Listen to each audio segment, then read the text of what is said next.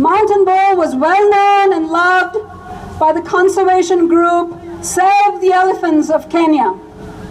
Save the Elephants does excellent work on behalf of Earth's last elephants, and through the diligence of its founder, Dr. Iain Douglas-Hamilton, studied the migratory patterns of mountain bull using various GIS mapping techniques.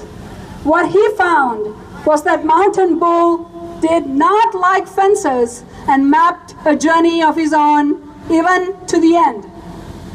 Frank Pope is the Chief Operations Officer of Save the Elephants in Kenya and is a writer and a lover of the oceans.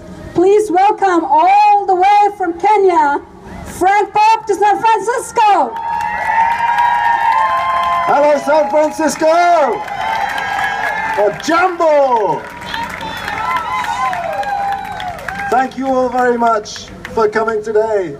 I can't tell you how much I wish that our team in Kenya and all the rest of those brave rangers that are on the front line of conservation every day, I wish they'd been able to see you guys walking through the streets of San Francisco today and felt that unity that now stretches around the world. My wife and daughter were marching this morning in Nairobi, and I've now joined you today. Thank you. Mountain Bull was the most wonderful elephant. He was very naughty. He loved breaking fences. And uh, he was enormously charismatic. In fact, his fence breaking behavior meant that the Kenya Wildlife Service had to chop off his tusks. And they chopped them just, uh, just below the nerve root, which is as far as you can go with an elephant without damaging their, without damaging their tusks and causing them pain. So he had these uh, awkward looking stumpy tusks. And we thought that would help him out, in fact, because it might make him less of a target for the poachers. This year we found out that that's not the case. And even a little bit of ivory is too much ivory for an elephant. This problem is so big and so complex that we need a grand coalition to fight it. We need a coalition of you good people here in San Francisco. We need you joining with the good people of every other major city. And we need a coalition of conservation organizations, of small conservation organizations that are focused on elephants like ours, up to the big conservations, conservation organizations. And I'm glad to tell you that this is happening.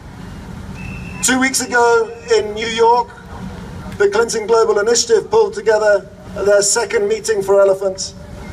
And there are big political gains being made for elephants. And the big funding agencies, they're huge juggernauts. They're like oil tankers. They take a long time to turn around, but they are taking notice now.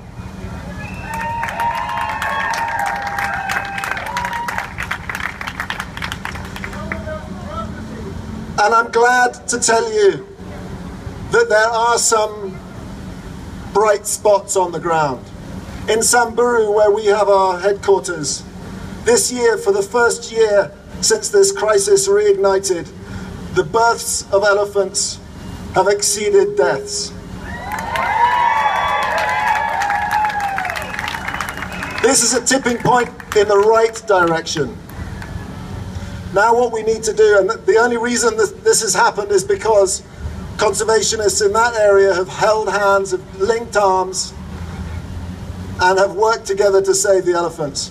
And that's what we need to do now. We need to grow this coalition. We need you to speak to your friends, speak to your government, and make sure these bans on ivory, because it is demand for ivory that's driving all this killing. We need to make we need to hold them to their word. We need to stop the trade in ivory.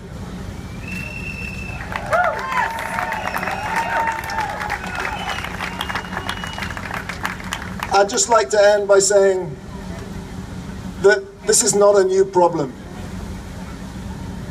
We faced this crisis once before in the 70s and 80s. We faced it many times before, but once before in, in the modern world with the terrible killing power of automatic weapons in the 70s and 80s. And that was also fueled by demand for ivory.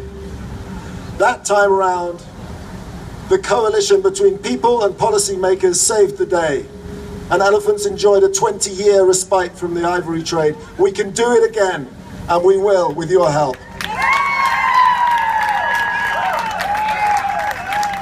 So, on behalf of Kenya and everyone that works for, for, for, elephants in Kenya and in Africa, I'd like to say thank you very much indeed. Um, elephants are, are, are, headlining at the uh, Wildlife Conservation Expert, uh, Expo this coming weekend. If anyone wants to hear more, come along. Uh, it's a wonderful event, and uh, we'll be talking in more detail about the crisis and about what you guys can do to help. Thank you.